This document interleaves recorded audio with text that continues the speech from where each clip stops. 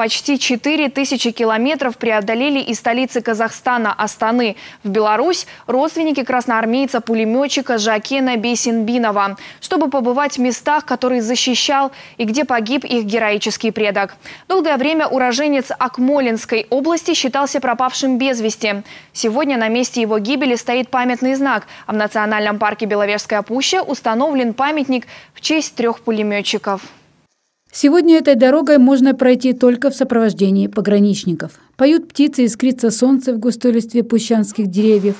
А 83 года назад, 27 июня 1941 года, именно в этом месте в неравный бой с немецко-фашистскими захватчиками вступили три красноармейца-пулеметчика, два казаха и один русский. Они почти на сутки сдержали продвижение превосходящих сил противника ценой своей жизни. Сегодня здесь с белорусской землей объединилась казахская.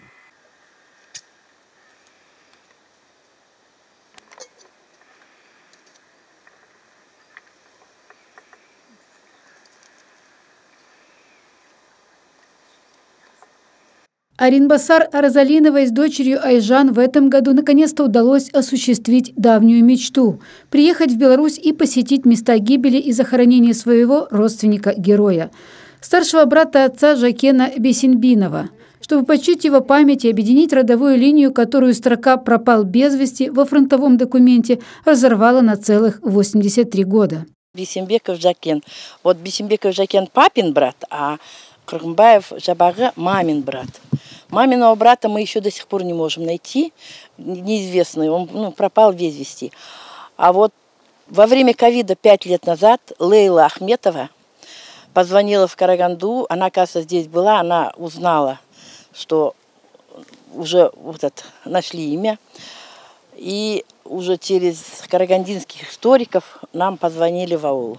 Героическая история Жакена Бесинбинова, который вместе с Акбюбакбаром Махмудовым и Ильей Гончаровым летом 41 года защищали стратегическое направление Брест-Беловежа, получила достойное завершение в современности – Сегодня герои покоены под скульптурой пулеметчика на въезде в Беловежскую пущу.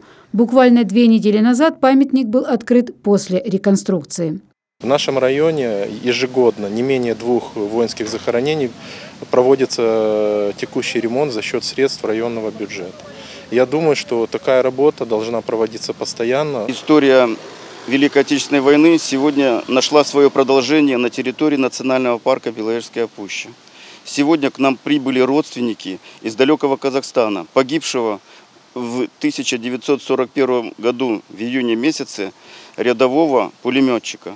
Мы продолжаем нашу историю помнить и знать подвиг народа. Отрадно, что даже спустя 80 лет после окончания Великой Отечественной войны люди продолжают искать своих погибших родственников и продолжают чтить и помнить. Татьяна Стасюк, Тигран Акопян, телерадиокомпания «Брест».